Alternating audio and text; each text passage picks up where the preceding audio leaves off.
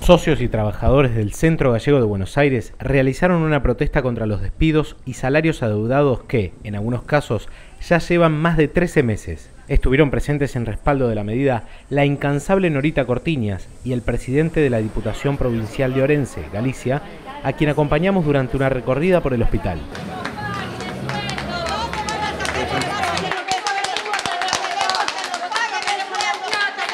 En primera persona pudimos observar cómo una patota de la intervención amedrentaba a periodistas y trabajadores. Por favor, Nucleadas en el Sindicato de Salud Privada de la CTA Autónoma, las trabajadoras denuncian que detrás del vaciamiento se esconde un negociado inmobiliario y la complicidad de ATSA, el gremio que conduce Héctor Daer. Trabajo hace 33 años en el Centro Gallego en terapia intensiva. Siempre me desempeñé en esa área. Hoy nos cerraron la terapia y no hay nada, nada de equipamiento. Se llevaron todo, los desmantelaron.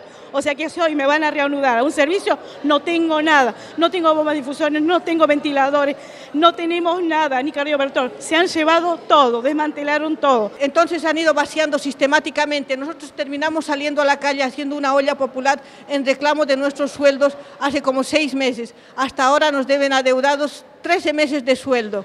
La intervención, la última que vino, Martín Moyano Barro, es uno de los cómplices y colaborador que eh, produjo este vaciamiento. Vaciamiento, desmantelamiento, se robaron todos los aparatos, si quieren pasar por los diferentes servicios, que son cinco pisos, que contaba con 350 camas y actualmente cinco camas, eh, siete camas habilitadas, se llevaron todo. Al ver que no nos representan los delegados, armamos y con otro nuevo sindicato para postularnos como delegados, para defender lo que nos corresponde. Y ahora esta mañana no pudimos fichar las dos compañeras y dos compañeras fueron despedidas. Tenemos un sindicato que es cómplice, porque cuando uno fue a reclamarle, fue a pedirle, se reían, se burlaban, como dice la compañera.